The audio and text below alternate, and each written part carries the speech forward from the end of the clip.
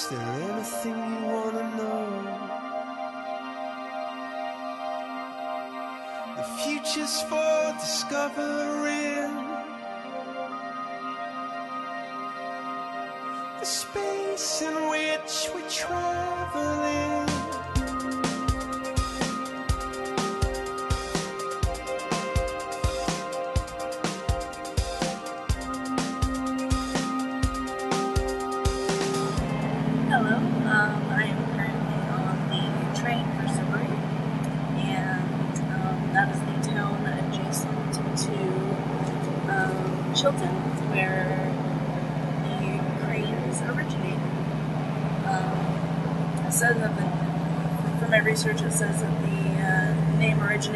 in Norfolk, but um, a lot of the history is traced back to this town of Chilton. Um, there's a church that I'm going to go visit, uh, St. Mary, um, and I am meeting with uh, one of the people that has a key to the inside of the church. Her name is Valerie Herbert, and um, we'll see. I'm meeting her after lunch, and um, that should be exciting. Get to see inside. Now, um, I didn't have a printer, so I wrote down the family tree um, as we have it so far before I left. Um, I started it back at where the C R A I N spelling was reported to have changed from the C R A N E spelling. Um, if you go down here where I've drawn the little the little boats, these are the names of the cranes that um, are uh, supposedly came over um, in about um, 1634, 1633, or some, somewhere around there. Um, if you go back, uh, Vincent Crane, you see his um, location of origin was Suffolk. Um, same was for his father, John Crane, and I found reference to his brother, uh, Robert Crane Esquire, um, being in the town of um, Chilton. So if you go back one more generation, um, that's what the first recorded um, reference of our line, Robert Crane Esquire, being in Chilton. The line goes down. You can see John Crane, Joseph Crane, Robert. I think um, I've heard, I've seen references to his full name being John Robert, um, Marcus Leland, Charles, and then the last reference that I can find is a Farrell Crane, uh, in who was born in 1255 with no recorded death date. Uh, there's nothing before him, um, and from there, our line, um, we went back further from Elizabeth de Warren, and that's how we traced our line back to um, uh, William, Sir William the Conqueror. Um, so we'll see if any of the stuff that I find today um, holds up or um, causes some discrepancies with this.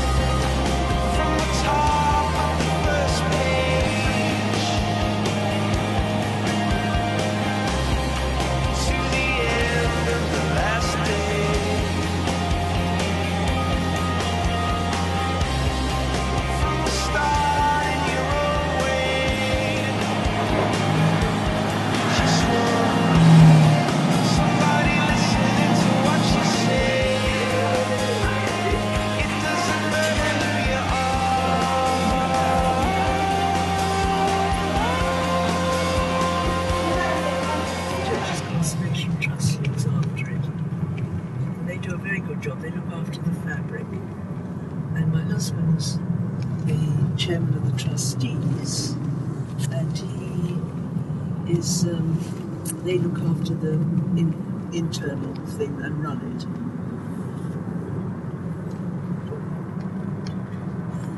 This is one of the soup companies there. We have it's our one of our big, our biggest industry is silk. Silk? Is it really?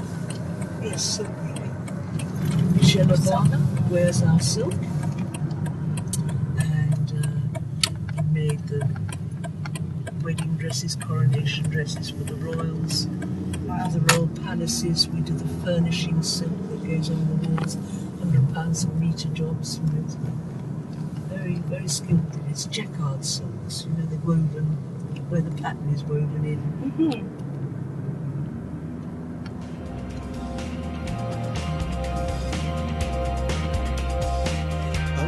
surface, trying to break through.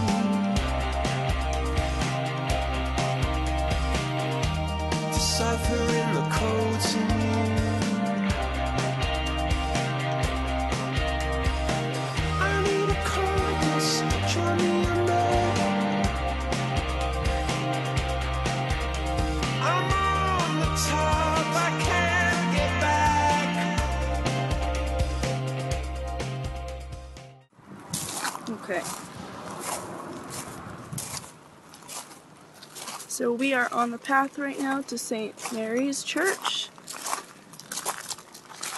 And uh, from what I understand, there used to be a whole medieval village around here, and there's questions as to what happened to it. Is that the case? I was asking you. Oh, sorry. no, nobody knows when it when it went, but there's certainly evidence of it has been found over the um, over the years. Agricultural land, and of course there was all sorts of um, bits and pieces from the 12th, 13th century came up. But just to the left here, they did a, a big dig at the county council in um, the 1980s. hmm And in fact, there's a Iron Age site there, about two and a half thousand years old, Wow. which is not surprising. You see, they often built the church where there had been habitation hmm because it blotted it out. The Christian Essex took over, a bit like, you know, um, taking over holly and ivy and all those sort of things. And here it is.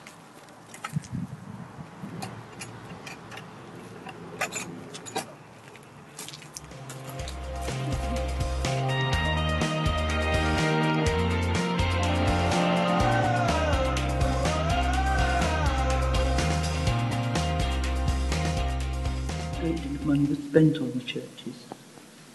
And this is one of them. No electricity, which is why there are candles and lamps, and no running water.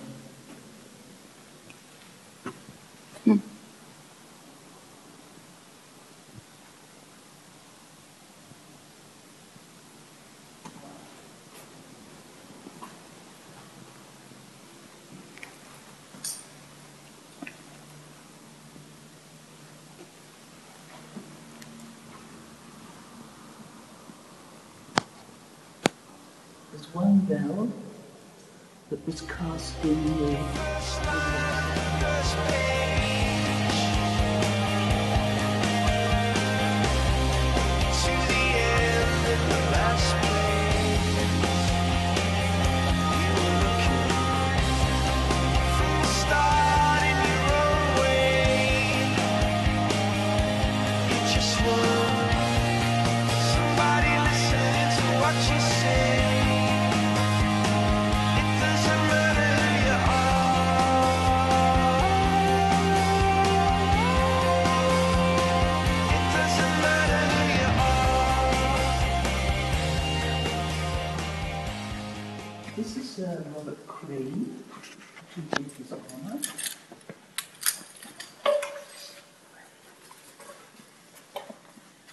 1500.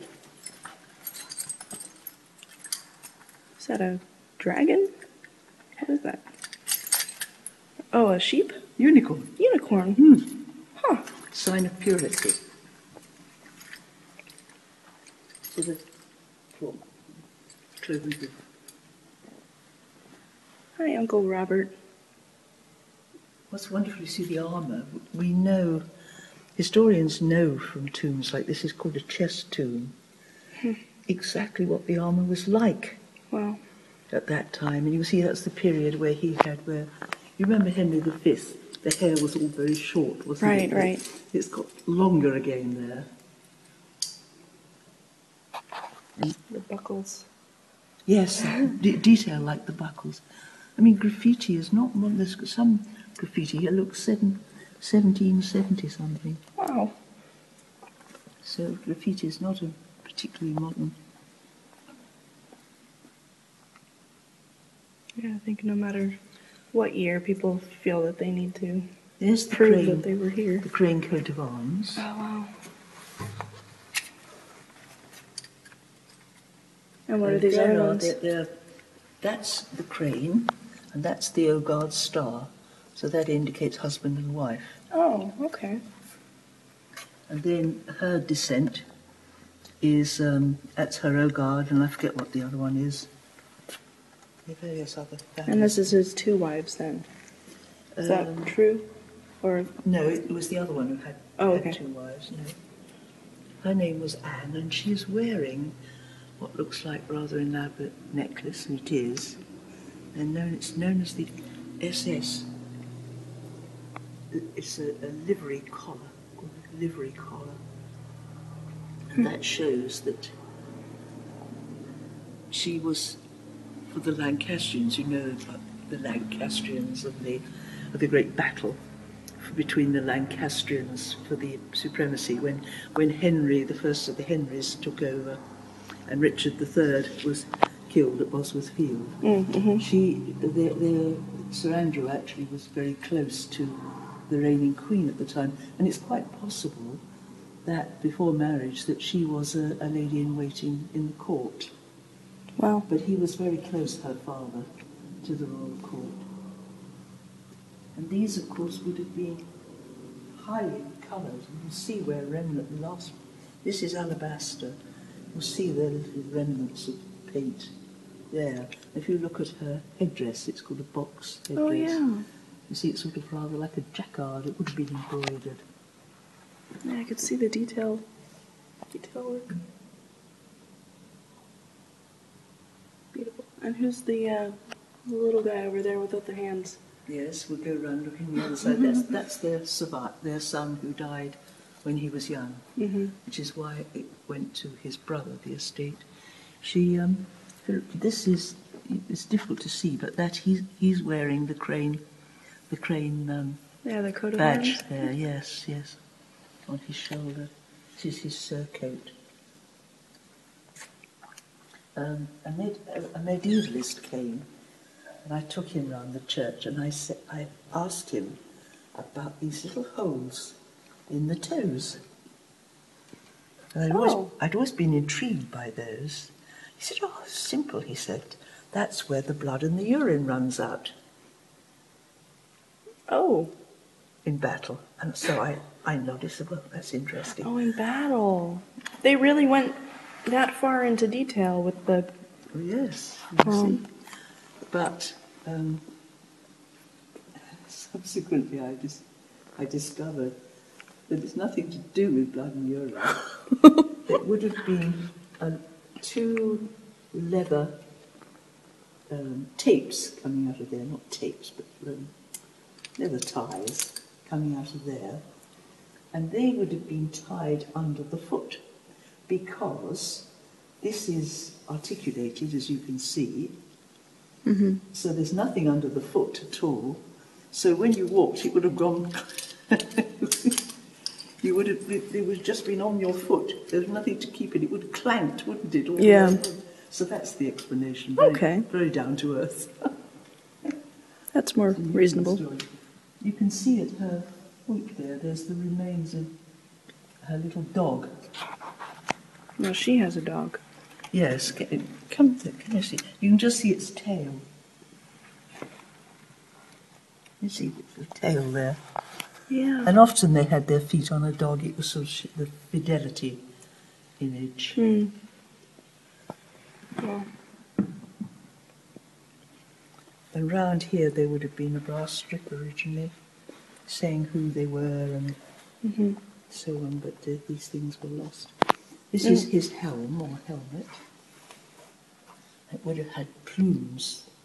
It's a lovely red. That would have been silk rolled in a row around it. And what was her name again? I'm sorry? What was her name again? Anne. Anne. Ogard. Anne It was her second marriage.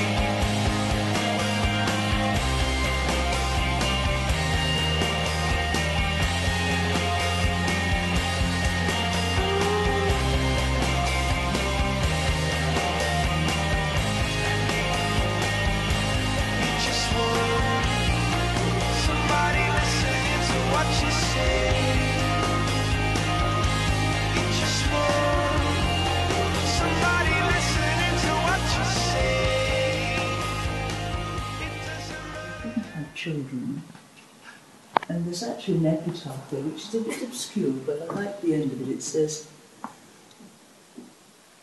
Least that thou a statue be, with amazement like to me, if thou readest with eyes dry, thou a marble art, not I. Wow. Isn't that lovely?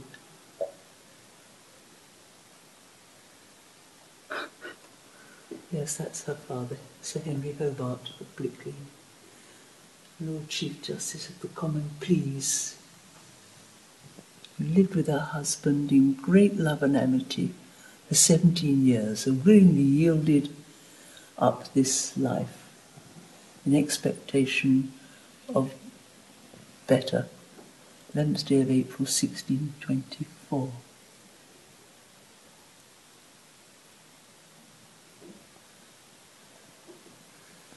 Now he put up this monument to her, and at the same time, it cost fifty pounds. It was done by Gerard Christmas, who was a famous artificer at the time, who, when they had the great court um, masques and balls and so on, he was the one who devised the floats when they went floating in and all these sort of things happened, and the big archways that were put over the streets for big occasions. But within months of her death, he was wealthy, he was late 30s, no children, and he married this lass here, Susan Allington, who came from a very prolific family. Her grandfather was Lord Burleigh, who was Elizabeth's um, treasurer and chief minister. So she had very good connections, and they say they had ten children. And she died after him, and she married. She remarried. But amazingly, nobody, although he died so wealthy, with his four daughters, nobody bothered to put his name or her name on Not the even, slates. not even the names. Yes, extraordinary, isn't it? And it's amazing that And their daughters married into the Walpoles and in that way became great grandparents of our first Prime Minister, Sir Robert Walpole. They married into the heirs of Norfolk, uh, of Stow Bardolph in Norfolk, another great landowning family. Uh, who was the other one? Oh, Sir Bacon, Sir Robert Bacon, who's, who's um, Sir Edmund Bacon, she married her. His grandfather had been keeper of the Great Seal. That's one of the most important posts in the land, the Great Seal, National Seal, you know. interval.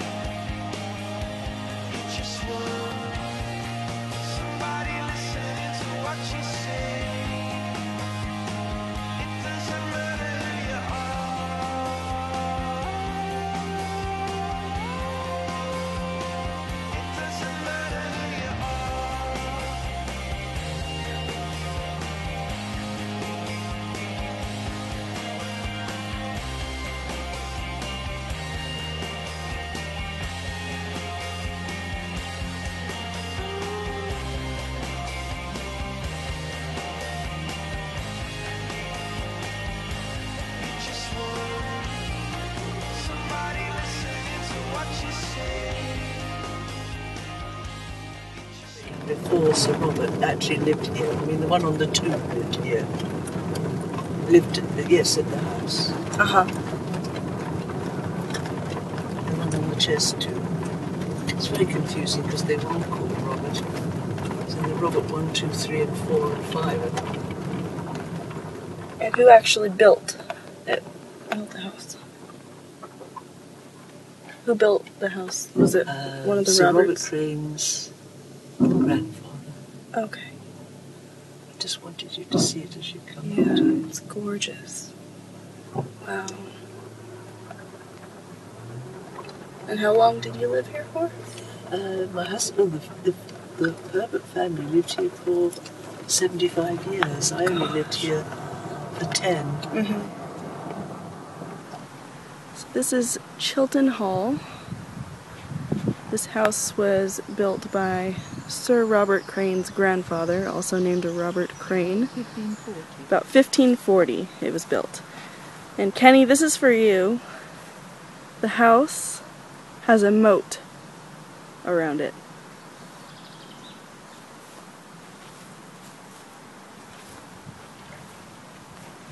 And fish. Big fish.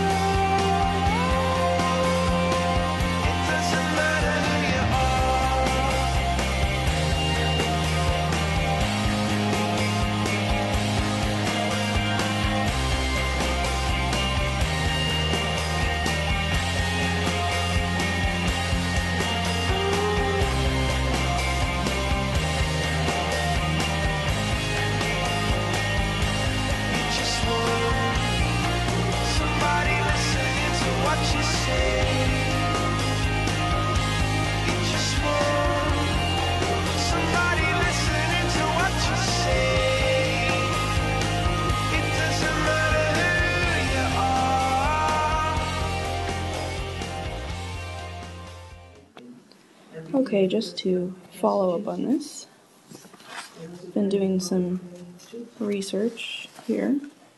I'm, I'm recording a video. Right. Say hello. um, found some discrepancies with the official tree here. I'm supposed to be descended from this guy here, but doesn't look like that's true. So we have some major research to do. Mr. John here. Need to find out where he came from. Well, um, it's almost 7:30, and um, that's the end of the evening. Uh, today was wonderful. I couldn't have imagined um, nicer company. Uh, Valerie took me to her home. I met her husband. Uh, they just have a wealth of knowledge, and uh, they were just the nicest, nicest people. Um, it was incredible to see, you know, if not um, actual uh, ancestors, but people from the the Crane line. Um, the only thing that was a disappointment was the discrepancies with the with the pedigree, but um, it only gives me more to work on. So um, I'll be posting um, the information that I found. So hopefully, uh, fellow cranes can help me get to the bottom of the genealogy. Thank you. Bye.